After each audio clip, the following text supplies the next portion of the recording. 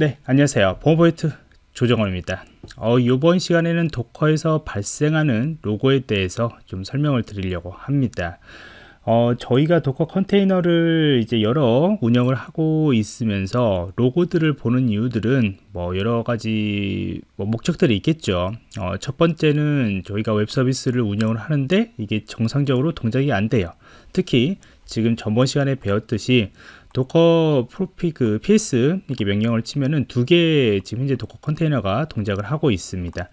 어, 웹 서비스하고 그 다음에 데이터베이스하고 그 다음에 웹 서비스는 여기하고 이제 연결이 되어 있는데 어떤 이유인지 몰라도 이게 만약 제대로 동작이 되고 있지 않으면은 뭔가가 환경 설정들이 틀렸겠죠. 예, 그랬을 때 이제 로그들을 보면서 여러분들이 troubleshooting을 하게 되는 것이고요. 두 번째는 이제 IT 보안 관점으로 봤을 때 이제 어떤 도커의 컨테이너로 기반으로 이제 웹 서비스를 운영을 하고 있는데 침해 사고가 발생할 수 있어요. 이것도 똑같이 우리가 웹 서비스이기 때문에 뭐 파일 업로드 취약점이나 cross site script 취약점 여러 가지 이유로 이제 공격을 당하면은 거기에 대해서 로그가 나올 겁니다. 그 로그들을 이제 분석을 하는 거죠. 아마도 침해 사고 분석을 하기 위해서 또 이제 로그들을 하나씩 하나씩 봐야 하는 겁니다. 그렇기 때문에 이게 어디에 저장되고 또 어떤 것을 봐야 하는 것에 대해서 여러분들 하나씩 어, 알아가야 하는 것이죠. 저도 이제 뭐 도커 컨테이너 기반의 공부를 하면서 사실 어려워 이게 구조가요. 막 어렵고 어떻게 설정했냐에 따라서 이제 만든 사람도 어떻게 만들었냐에 따라서 다 다릅니다. 그래서 그것들을 좀 저도 공부를 하면서 여러분들과 공유를 해보려고 합니다. 우선은 이제 워드프레스가 현재 동작이 되고 있습니다. 그러면 저희가 워드프레스는 당연히 var의 log, 우리가 아파치 환경으로 현재 돌고 있기 때문에 var의 log에 어, 쌓이게 될 것이고요. 근데 이제 호스트에 쌓이는 게 아니고 각각 컨테이너에 이런 식으로 쌓이게 되겠죠. 그래서 뭐 이렇게 접속을 하시고 또 이게 한번 뭐 이렇게 접근도 한번 해보고 여러 가지 접근을 해보면은 로그가 쌓이겠죠. 자, 그러면은 이 워드프레스 도커 컨테이너는 바로 요거죠. 이미지죠. 그래서 여기에 이 안에 저희가 들어가야 하기 때문에 exec 어, 요거는 예전에 제가 유튜브로 공개를 한 적이 있습니다. 이 명령어는요. 그래서 마이너스 i, 마이너스 t, 그 다음에 워드프레스라는 name으로 했기 때문에 이렇게 지정을 하고 그 다음에 저희가 쉘을 들어가도록 할게요. 그러면 여기가 바로 이제 우리가 도커 어, 워드프레스 예, var에 따따따 기본적으로는 현재 var에 따따따 쪽으로 들어가게 되는 겁니다. 예, 기본적인 그 디렉토리 어, 기본으로 설정이 되어 있고요. 그래서 바로 ls-al 하시면은 워드프레스 현재 어, 그 소스 코드가 이렇게 나오는 것을 볼 수가 있습니다. 저희가 이제 웹로그를 쪽으로 이제 봐야겠죠. 그래서 웹로그 쪽이 어떻게 설정되어 있는가 한번 보도록 할게요. 이건 또 며칠 전에 제가 교육을 하는데 저희가 제가 이제 도커 환경에다가 침해 사고를 이제 발생시켜 가지고 그걸 분석해 보라라고 했는데 보통 학생들이 아직은 또 이제 어, 로그 분석이 어디에 남는지 모르더라고요. 그래서 제가 이거를 이제 영상을 지금 공유하고 있는 것이고요.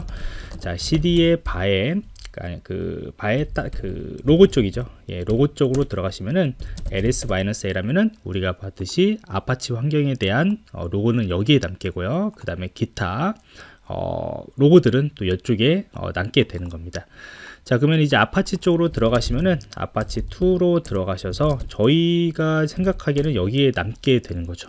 access 로그하고 이제 에러 로고가 어, 기타 여러 가지 로그들이 남게 되는 건데 자 여기에서 어, 이상한 점이 하나가 있습니다. 어떤 거냐면은 이 access 로그라고 보통 보면은 이제 access 로그에 현재 남게 되면은 얘만 현재 이렇게 파일이 있는데 이건 링크가 되어 있습니다. 현재 이쪽으로 링크가 되어 있고요. 그 다음에 사이즈가 현재 보면은 쌓이고 있지가 않아요. 저희가 접근을 할 때마다 예, 접근을 할 때마다 여기에 어, 크기가 예, 변경이 되고 업데이트가 되어야 하는 건데 쌓이지가 않습니다. 자 이게 이제 어떻게 설정이 되어 있냐면은 바로 이 dev stdout이라고 하면은 외부 출력이에요 외부로 출력한다는 소리인데 요것은 바로 이제 docker logs라는 곳에다가 이제 통합으로 출력이 되게 이렇게 설정이 되어 있는 겁니다. 근데 요거는 이제 도커 컨테이너를 만든 예, 만들 때 또 지정을 해줄 수가 있는 부분이에요. 네, 그렇기 때문에 여기 안에 쌓일 수도 있는 것이고 그러니까 컨테이너 안에 있는 access 로그에 아니면 다른 로그 파일에 쌓일 수도 있는 것이고 아니면은 실질적으로 여기에 외부에 어, docker logs라는 곳에 같이 어, 통합적으로 출력이 되게 그렇게 되어 있습니다. 자, 그러면 요거는 이제 여러분들이 어떻게 보냐? 이런 경우에는 외부 쪽으로 보셔서 이게 이제 외부 외부거든요. 외부 호스트입니다. 호스트요. 호스트인 것이고 호스트에서 docker 예, docker 그 다음에 음, logs라고 하시면은 있습니다. logs라고 있죠. 그래서 docker logs라는 것을 이제 도커 쪽에서 지원을 그 지원을 하고 있는데 사용을 할 수 있는데 여기에서 docker logs라고 하면은 아, 네, 지정을 안 해줬군요. 그래서 docker logs 그 다음에 워드프레스 저희가 네이밍 컨테이너 네이밍을 치시면은 이렇게 어, 출력이 되는 것을 볼 수가 있습니다. 그러면 금방 저희가 접근했던 정보들이 이쪽에 이렇게 쌓이게 되는 것이죠. 음, 그렇기 때문에 이것은 이제 웹로그 쪽만 있는 것이 아니고 이 시스템과 관련된 아파치에 관련된 그런 로고들과 같이 어, 쌓이게 되는 겁니다. 그래서 위쪽에 보시면은 아파치에 관련된 것들이 이제 뭐 정상적으로 동작이 되고 있는지 안 되고 있는지 그 다음에 설정이 어떻게 지금 현재 보면은 설정이 어떻게 되어 있는지 예, 이런 것들이 바로 여기에 이렇게 쌓이게 되는 것이죠. 그래서 만약 우리가 만약 아파치가 제대로 돌지 않는다 그러면은 똑같이 이게 docker logs에 이쪽에 쌓이게 돼요. 음, 그렇기 때문에 이게 계속 이제 쌓이게 되겠죠. 당연히요. 계속 로그들이 쌓이게 되는 것이고 여러분들이 침해 사고 분석이나 여러 가지 웹로그 분석을 할 때도 바로 여기를 가지고 여러분들이 분석을 하시면 됩니다.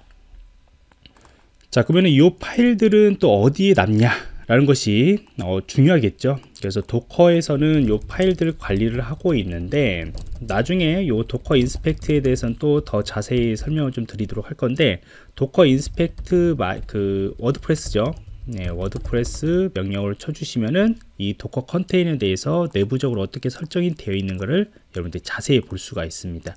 그래서 이렇게 클릭을 하시면은 여기에는 이제 네트워크 설정들, 그 다음에 기본 이 프로세스 설정들, 그 다음에 로그들이 어디에 남기는가, 그 다음에 도커 컨테이너 이미지가 어디에 저장이 되어 있고 어떻게 설정이 되어 있는가, 어, 이렇게 환경 설정이나 그런 것들을 여기에서 안에서 다 볼 수가 있습니다. 그래서 이것도 나중에 침해 사고 분석이나 이제 포렌식 분석을 할 때 좀 유용하게 사용할 수 있는 앤데 우선 이것보다도 어, 우선은 이제 로그, JSON 파일들이 어디에 남는지를 한번 좀 보도록 할게요.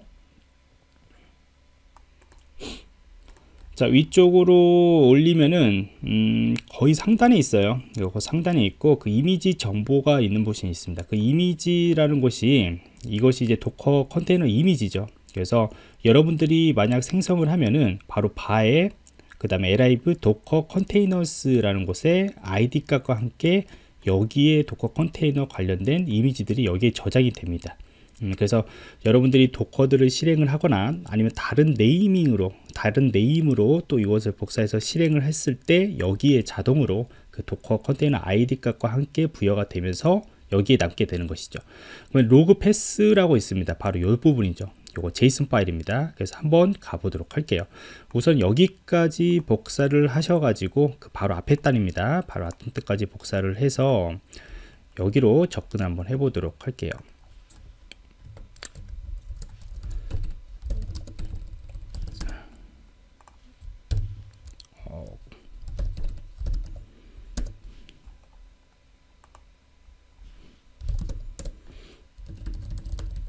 자, 관리자 권한으로 전환을 하고요.